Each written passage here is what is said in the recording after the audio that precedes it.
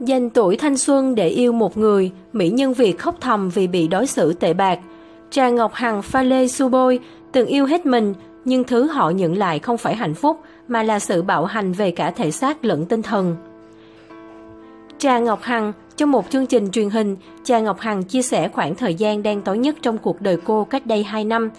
Đó là khi cô yêu và sống cùng bạn trai đại gia.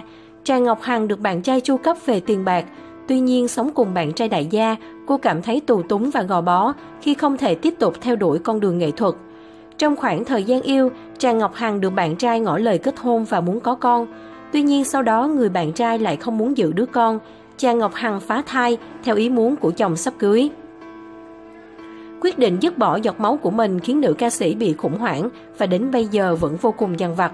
Cô biết mình không thể biện minh cho lỗi lầm, song thời gian đó nữ ca sĩ rơi vào hoàn cảnh khó khăn và không đủ can đảm giữ đứa con vì sợ không thể mang lại cho bé những điều tốt nhất. Nữ ca sĩ Trà Ngọc Hằng và người yêu đại gia gắn bó 4 năm, cả hai quyết định tiến tới hôn nhân, thậm chí đã đi chụp ảnh cưới và dự định tổ chức đám cưới ở Đà Nẵng. Nhưng sau đó cả hai hủy hôn, đột ngột chia tay, khiến nhiều người hâm mộ bất ngờ. Sau khi chia tay, cô cũng muốn gặp bạn trai để giải quyết một số tranh chấp về tài sản chung, nhưng người đó tìm cách trắng mặt, hiện tại cả hai đã cắt đứt liên lạc hoàn toàn. Pha Lê trong buổi ra mắt MV mới, Pha Lê đã có những chia sẻ bất ngờ về đời tư. Nữ ca sĩ tiết lộ về chuyện tình cảm của mình. Tôi từng có mối tình đẹp với một người, khi yêu tôi rất mù quáng, sẵn sàng vì anh ấy mà làm tất cả. Mối quan hệ của chúng tôi ngày một nặng nề, căng thẳng khi tôi phát hiện anh ngoại tình, nhưng tôi vẫn cố gắng níu kéo và tin tưởng người ta thay đổi. Mọi thứ kết thúc vào ngày anh đánh tôi trong chuyến lưu diễn của tôi ở Mỹ.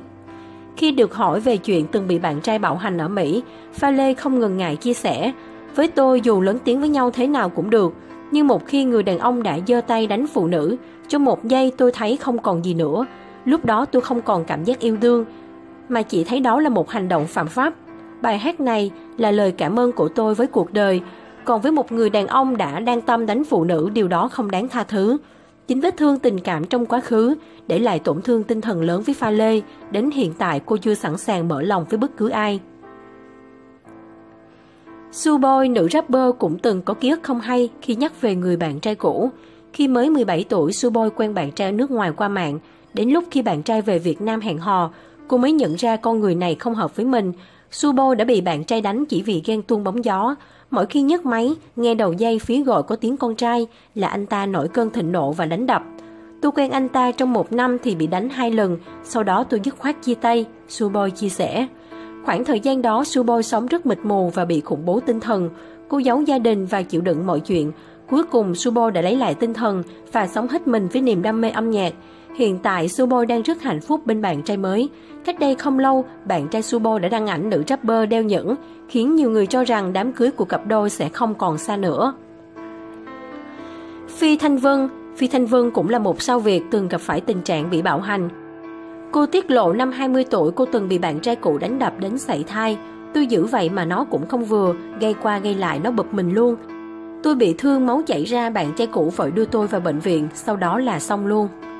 Trả lời phỏng vấn trên một trang báo, Phi Thanh Vân đã nói về chuyện đã qua, đó là điều đáng buồn, nhưng tới từ bây giờ, Vân đã thấy luật nhân quả. Ông trời có mắt vì tôi có được một cậu con trai tên là Nguyễn Tấn Đức, rất kháu khỉnh trộm vía, mau ăn chóng lớn. Theo như tôi biết từ một nguồn tin thì người đầu tiên gieo cái ác cho cuộc đời của tôi giờ đã lập gia đình nhưng chưa có cháu nào cả.